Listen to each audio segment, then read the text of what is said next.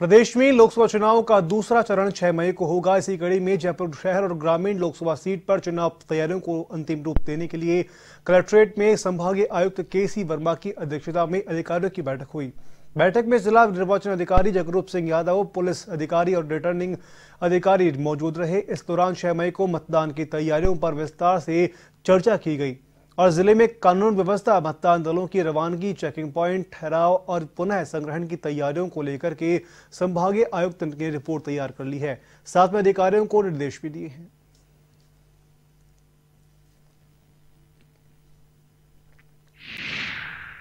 police अधिकारियों की और सभी एआरओ साहिबान हैं और सभी प्रभारी अधिकारियों के साथ संयुक्त बैठक आयोजित की गई, जिसमें निर्वाचन के संबंध में जो